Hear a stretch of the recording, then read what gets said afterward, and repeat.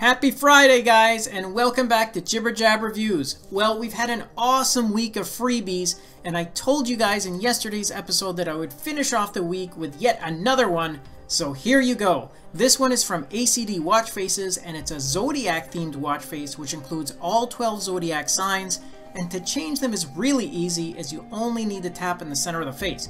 Now including all these different zodiac signs, you also have some animations in the background that are really fitting for this theme, as you can see that it's a rotating and starry sky. And besides this cool factor, you also have a battery remaining bar on the left hand side, a steps goal on the right, and your last recorded heart rate is shown at the bottom. The full date is also at the top, and the time here can be set in either a 12 or 24 hour format. And another thing I like about this face are the theme details such as those related symbols as hour markers around the bezel, the contrasting color theme, and of course those animations in the back all work really well with the overall theme, and I think the developer did a great job here of also incorporating the date range for those signs, because to be honest, I never remember when they begin and end anyways. And lastly, this one has also been optimized for the AOD mode.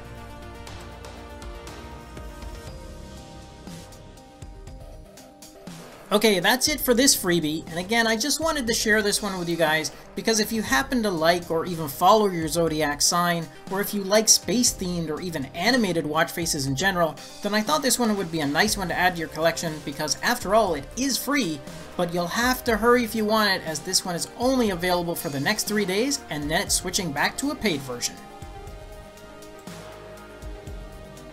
Okay, that's it for this episode. Thanks for watching, and I would really appreciate it if you could share this video and to subscribe to my channel. It really helps me keep the channel going so I can continue to offer you guys discounts, giveaways, and fresh content. And if you want to be notified when the newest video is just released, then just click on that bell icon next to the subscribe button.